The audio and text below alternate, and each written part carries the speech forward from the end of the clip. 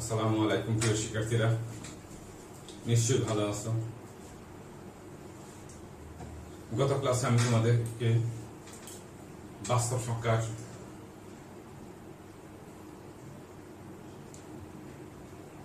প্রাথমিক জিনিস নিয়ে আলোচনা করেছিলাম, তার পরিপ্রেক্ষিতে তার ব্যাপকতা নিয়ে আলোচনা করেছিলাম। আজ আমরা তার পরবর্তী অধ্যায় নবম এবং দশম শ্রেণির সেট নিয়ে আলোচনা করব। ঠিক আছে? সেট কি? সেট থেকে আসলো? কে আবিষ্কার করল? এটা হচ্ছে আমাদের ফার্স্ট কথা। সেট কি? সেট বলতে আমরা ক্লাসে সচরাচর যেটা বলি বাস্তব বা চিন্তা জগতের সুসংজ্ঞায়িত বস্তু সমাবেশ বা সংগ্রহকে সেট বলে। এটা আমরা সবাই শিখে ফেলি। বাস্তব বা চিন্তা জগতের সুসংজ্ঞায়িত বস্তুর সমাবেশ বা সংগ্রহকে কি বলি? সেট বলে। কিন্তু এই সেট জিনিসটা যেমন ধরো, আমরা বাড়িতে অনেক জিনিস ব্যবহার করি।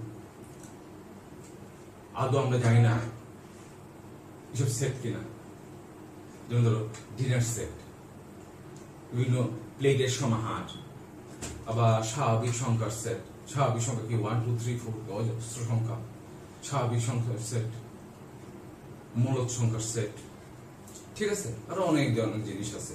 যেমন ধরো, এটা আমরা অনেক সময় ক্লাসে বলতে থাকি। যেমন ধরো বলি, নবম শ্রেণির শিক্ষার্থীদের বাংলা, ইংরেজি, গণিত বইয়ের সেট এসব আমরা বলে থাকি। বলে থাকি না?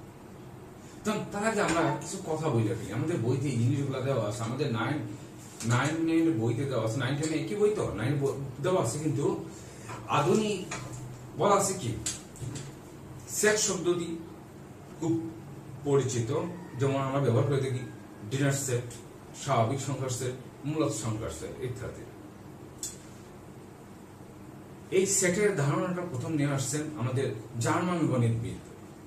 খেয়াল রাখো, কোন দেশের? জার্মান গণিতবিদ জর্জ ক্যান্টার। জার্মান গণিতবিদ জর্জ ক্যান্টার। প্রথম সেটের ধারণা নিয়ে আসছেন ঠিক আছে? তারপর কোন দেশে জানলাম? জার্মান। নাম কি? George Cantor. George Cantor. তিনি অসীম সেটের প্রথম ধারণা দেন। তিনি প্রথম কি? অসীম সেটের ধারণা দেন। এবং গণিত শাস্ত্রে কি করেন আলোড়ন সৃষ্টি করে থাকেন তাহলে এই অধ্যায়ে আমরা আজকে কি জানব? যদিও অষ্টম অষ্টম শ্রেণীতে আমরা সেট সম্পর্কে ধারণা করছি, তারপরেও নবম শ্রেণীতে যে সময় এটা দেওয়া আছে, তাই জন্য আমরা কিছু আলোচনা করি, ঠিক আছে? সেট। তাহলে আমাদের ফার্স্ট কথা হচ্ছে সেট।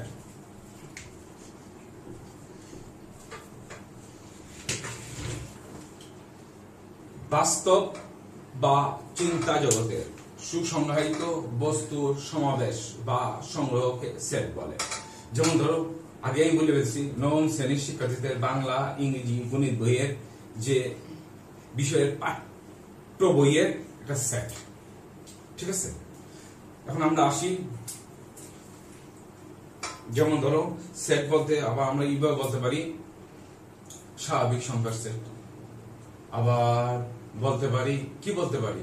আবার বলতে পারি প্রথম বেজু পাঁচটি, প্রথম পাঁচটি বেজু সংখ্যার সেট আবার বলতে পারি, প্রথম দশটি জু সংখ্যার সেট কন্ডিশনের উপর। এই জিনিসগুলা। যেমন পাঁচটি বেজুর স্বাভাবিক সংখ্যার সেট আমরা বলি বেজুর স্বাভাবিক বেজুর যেমন ধরো, এক, তিন, পাঁচ, সাত, নয়, পাঁচটা। ঠিক আছে? এখন যদি আমি বলি, দশটা জোর স্বাভাবিক সংখ্যার সেট কি আসতে পারে? জোর জোর বলতে কি বুঝি আমরা? দুই, চার, ছয়, আট, দশ, বারো, চোদ্দ, ষোলো, আঠারো, বিশ। পাইলাম তো? এই কন্ডিশনের উপর কিন্তু আমার জিনিসগুলো আসতেছে। ঠিক আছে, তাহলে আমরা পরবর্তীতে আগাই। আরও অনেক বলা যায়, আমি যে শর্ত দিব এই শর্তের উপর আমার জিনিসগুলা দাঁড়াবে যেমন, আবার এখানে সেটকে প্রকাশ করা হয় কি? বড় হাতের অক্ষর দিয়ে। সেট কি কীভাবে প্রকাশ করা হয়? সেট প্রকাশ করা হয় কীভাবে? সেটকে লিখতে হয় সব সময় যেমন ধরো এ দিয়ে লিখতে পারি বি দিয়ে লিখতে পারি সি দিয়ে লিখতে পারি, আবার লিখতে পারি এক্স ওয়াই জেড ইত্যাদি। নিজেরা আমরা সেট লিখতে হবে এইভাবে। আর সেট প্রকাশের পদ্ধতি কি? সব সময় দ্বিতীয় বন্ধনীর ভিতর সেট প্রকাশিত হয়। যেমন এ যেমন ওয়ান কমা টু মনে করে যদি ওয়ান কমা টু দিলে ঠিক আছে ওয়ান টু ফাইভ এই দ্বিতীয় বন্ধনীর ভিতর আমাকে, এইভাবে আমাকে সেট প্রকাশ করতে হবে। তা বুঝা গেল? তাহলে কি দাঁড়াইলো এখানে? সেট কি তোমাদেরকে জানাইলাম। তারপর কি জানাইলাম? সেট বড় হাতের অক্ষরে প্রকাশ করতে হয়। তারপর দেখো তোমাদের বইতে তোমরা দেখবা, কীভাবে দেওয়া আছে, তো তোমাদের বুঝতে সুবিধা হবে। এই যে আমি আগে তোমাদেরকে দেখাইলাম কি? যদি সেট কীভাবে লিখতে হয় এ ওয়ান টু ঠিক আছে? যেমন সেটে এইটা কি দেওয়া আছে? সেট আমি কি বলছিলাম? এই দ্বিতীয় দিয়ে বোঝাতে হবে। আছে কি? ওয়ান টু দেওয়া আছে। তো এই ওয়ান টুটা কি বলা হয়? উপাদান। এটা এ সেটের উপাদান। এটা কি? এ সেটের উপাদান। উপাদান মানে কি? উপাদান মানে এলিমেন্টস উপাদান মানে কি? এলিমেন্টস ই এল ই ইলি M E N T elements মানে কি? উপাদান। এলিমেন্টস বলতে আমরা কি বলতে পারি? উপাদান। ঠিক আছে? এলিমেন্টস মানে আমরা কি বলতে পারি? উপাদান। তাহলে এর সেটের উপাদান কি হচ্ছে? ওয়ান টু তাহলে আমি এটাকে করতে পারি কি? ওয়ানটা কি? এর সেটের ওয়ানটা কি এ এর কি এ এর কি ওয়ানটা কি এ এর সদস্য. ওয়ানটা কি এ এর সদস্য. তাহলে কি দাঁড়াইলো ওয়ান কি দাঁড়াইলো এ এর সদস্য. তাহলে এটা আমি কি বলতে পারি। বলতো কীভাবে বলতে পারি?